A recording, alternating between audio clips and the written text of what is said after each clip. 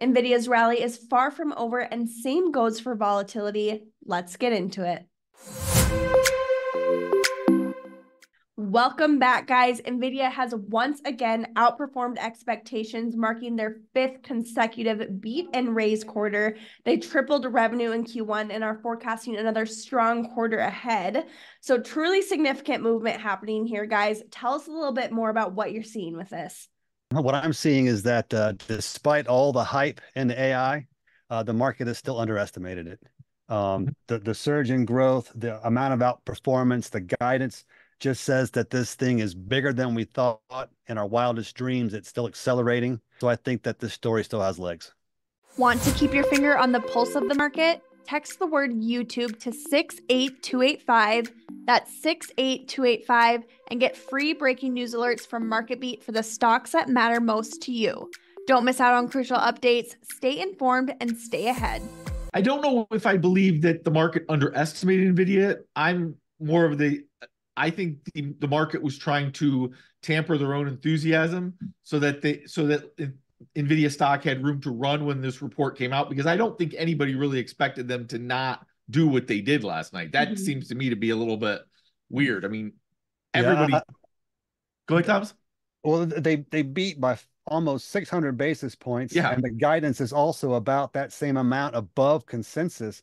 All the analysts have been raising their estimates for the last five quarters. I, I mean, yeah, this is this is a significant amount of outperformance.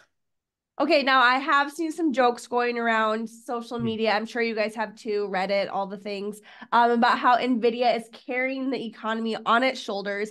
But is it really a joke, guys? I mean, I don't know. Things are getting a little serious.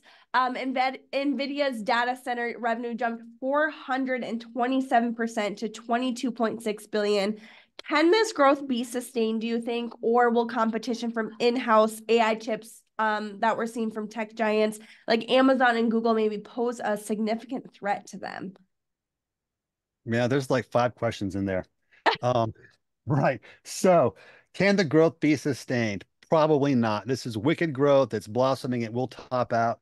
Uh, we're also already seeing that in the guidance, the growth is slowing yeah. still way significant, way more than expected, but slowing. And so that's going to be a bit of a headwind for the market. It's going to keep the analysts from really rushing ahead and raising their price targets to really extraordinary levels.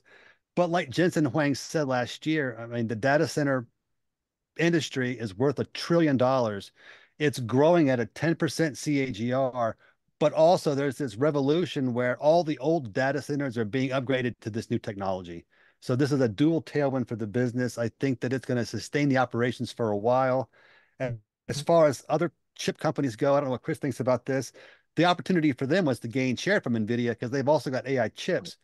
Their businesses are also booming, but because NVIDIA is such the dominant player and its business is growing so quickly, I would assume that it has gained market share from the 80% it was running in data center and now is probably pushing like 90, 95%. Yeah, I'll, I'll go back to the first question you asked, Lacey, and that is, you know, is NVIDIA propping up the entire economy? I don't know if it's propping up the entire economy. I think it's safe to say it's propping up the market right now. Uh, because, you know, the market turned around as soon as that the NVIDIA results came out. Uh, we'll see what happens in the next day or so to see if it, you know, if, if this is the start of a new rally or if it's just going to be confined to NVIDIA but I think we can safely say maybe Nvidia's taken the crown where people used to say, as Apple goes, so goes the market. I think it might be as Nvidia goes, so goes the market. Mm-hmm. And to Thomas's point, I do think that there's going to be these other players trying to go after market share, but I think right now it's going to have to be more of a niche type thing, like what you're seeing with Qualcomm trying to get in and do the chips for you know specific applications, as opposed to maybe it's going to be, I think, harder to get in in in a broader sense because Nvidia's got that market pretty much covered. Right. Just to the to the idea of Nvidia carrying the economy, you got to think that Nvidia's results have trumped the yeah. FOMC. The FOMC is saying that they're not on track to cut rates the way the market thinks that that it is. That right. to me is a is a brick ceiling for the market, and yet it's going to keep rising because Nvidia is trumping it. Nvidia is certainly carrying the tech sector, and along with it, the broader market. Well, right. I mean, NVIDIA's going where NVIDIA's right where this whole transformation's happening in the economy with AI, and NVIDIA's at the tip of that. And that's that's something that, like you're saying, they're ahead of the FOMC. They just, you know, the FOMC is trying to digest all that, and NVIDIA's just out in front of it. Go ahead and comment down below, guys, what you think about NVIDIA and the economy and all of this. We want to hear from you. But let's continue on here.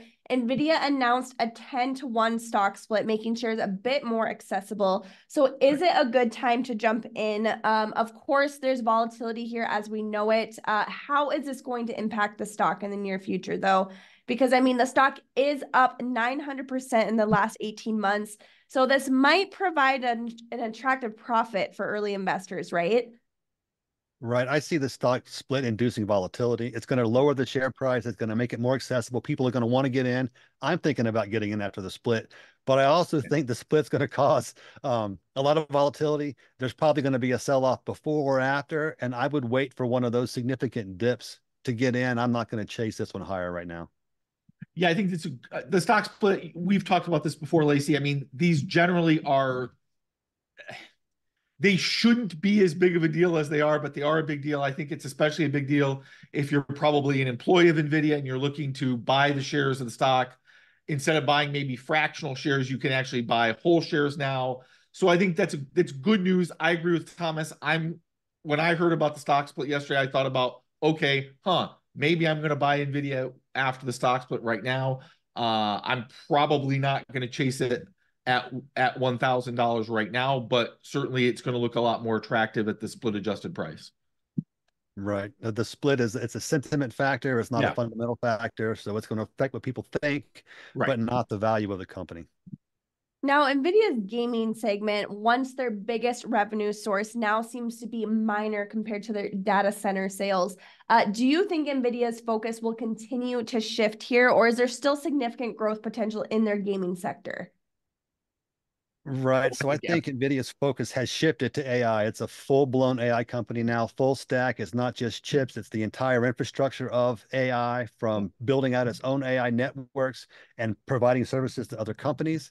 Uh, gaming is going to be part of that. Gaming is going to benefit from AI. Right now, gaming is like a really itty bitty part of their revenue compared to data center but I would imagine data center will eventually peak and top out. Right. And then we'll start seeing growth in all these ancillary segments after the AI infrastructure is built. And that will include um, the games, and we'll have edge computing, edge AI embedded in the games. Yep. Uh, so yeah, that's just a, that's another future growth avenue to help sustain NVIDIA over time, I think.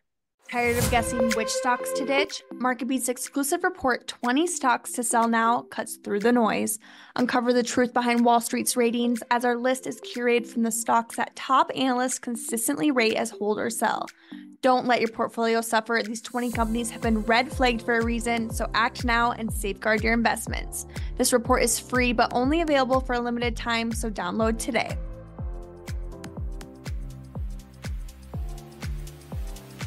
What else should we be looking at as we watch NVIDIA in the coming months, guys? Right. I'm going to be looking at ex expanding partnerships. And just to point out one that was announced last night, Snowflake, uh, it's already built most of its technology on NVIDIA chips, but it's hinting at expanding collaborations driven by AI demand.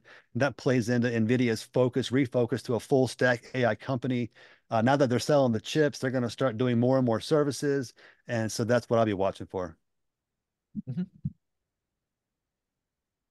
Well, that wraps it up for our update on NVIDIA today. Be sure to check out MarketBeat for the latest tools and resources to follow along with NVIDIA and all of the other stocks that matter most to you. Our platform does make it easy. And of course, we are here to help.